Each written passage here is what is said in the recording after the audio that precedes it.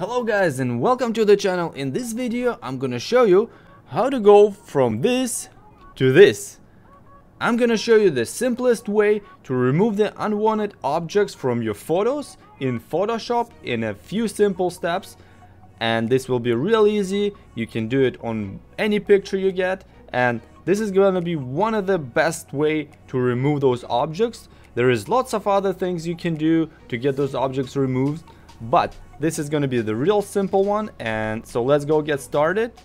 So I have prepared a few different pictures here. So let's see this one here. You see this little beautiful bug that landed on my hand one day and I'm like, wow, this is such a nice, beautiful bug. You know, the bugs could be beautiful too. I really liked it and I took a picture of it. But what if we want to delete it what if we want to remove it from the photo and so we don't have it anymore?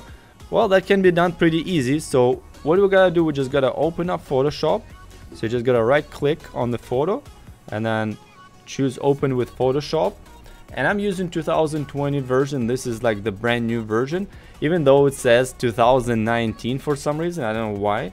Maybe because they, it's like cars and they get 2020 and 2019 and 2021 and 2020 but anyway so once you get this window pop up you can just click OK. We're gonna just use the same profile. I'm not gonna change it. So and as you can see here we got this beautiful green bug and we just want to take it off the picture and have it removed from the picture so that it's no more there. The first step you gotta do you gotta make sure that the layer that you have you can click on the layers left click and then you get this uh, different layers. So the background make sure it's locked. Make sure the lock sign is on so that we can work on it properly. The next thing you gotta do is just gotta choose this lasso tool and just left click on it. And then just start going around this little green bug.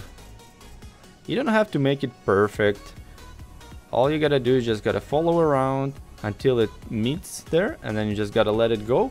And as you can see this area highlighted and then you just gotta press delete. And there is a window that pops up. So what you gotta do just gotta make sure the content it says content aware. And this is gonna make the rest of the image that you're gonna delete it's gonna just fill fill it with the colors that are just matching around it and you can also leave the check mark against color adaptation. And yeah just gotta press ok and watch the magic. There you go. Like it wasn't even there. So yeah like especially if you just kind of make a picture smaller you will never ever see it there. This is the real simple method and it's only taking like a few seconds to do it even if you highlight it like even if you zoom it up like I could barely tell there was anything there and if you want to see how it was before, you can go to this symbol here and then you can go to history and we can just make it a little bit bigger. There you go. This is how it was. This is how it became. So yeah guys, so it's real simple. It only takes a minute to do it and I find it works pretty good on the most occasions. Sometimes if you have to delete like a huge object like that's taking half of your picture, it's it can you know make the colors funny and the lines not aligning pretty good but you can still work it out and just make it like do it a few different steps and it's gonna just uh, correct it. Okay so that was the method number one. That's if you want to remove just one single object or like a, uh, if you want to spend more time and do this one after another but let's see what if we have this for example this beautiful cake and we put some berries on it that we don't like and we just want to remove them. How are we going to do that? Even though you can just go manually and just take one after another, well, that's going to take some time. So I'm going to show you a simple method how to do this real quick and easy. So same thing here. Just got to right click on it, open it with Photoshop again. And it's going to leave the same profile as well. We're just to minimize this so it doesn't take much room.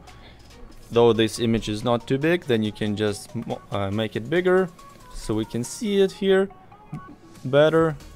Okay so as you can see here we got this beautiful cake. It's really tasty by the way. But um, anyway we just want to remove these berries. And we could apply the same method I just showed you in part number one. But you know you can do this and it's just gonna take too long. You have to like circle this and then you just gotta press delete and then you just gotta wait and then you gotta do this one. So it's just taking way too long. So I don't want to do that. So for this job we can use a beautiful tool called a spot healing brush tool. And it's located in your toolbar here. Sometimes it's not in the toolbar so you can just find it here if you go down all the way and then you just right click it. There's a whole bunch of tools here you can choose from. So we got it here in the toolbar and I'm just gonna choose it. After you choose this uh, spot healing brush tool you can go up here and choose the size that you need. If you have a big spots you gotta cover like let's see what we got. So we got this this is pretty much a perfect size. Yeah they all kind of yeah they all kind of go in that uh, little circle. So yeah this is perfect. And then over here you can choose the hardness that's gonna just determine how much of a edge you're gonna get. Like if you choose 100% hardness it's not gonna it's gonna be pretty sharp edge. And if you go to 0% hardness it's just gonna be like a cloud you know like it's gonna be fluffy. So yeah we're just gonna go and uh, make it 100% because that's pretty straightforward. We don't need any fluffy edges. So all right let's see this magic here. So once you get like lots of spots you get to remove so let's just go ahead and do this. Click on this. Bam. Done. Click on this. Done. And you get a little spot here. You can just correct that as well. Done. So then you just gotta keep doing this. And you can go a couple times over. Sometimes you can see like there's little spots there that are not perfect you know it's not perfect but it's it's that's the cake.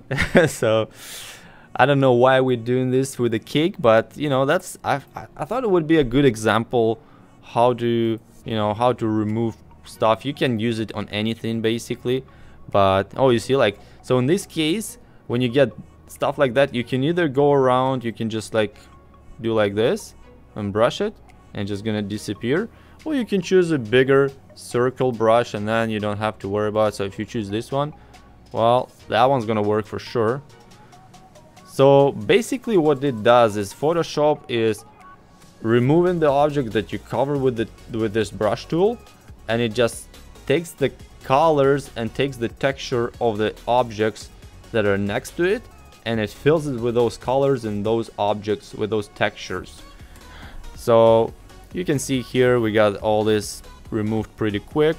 So on this one here will be real hard but we can try to do this right now here and see what it does.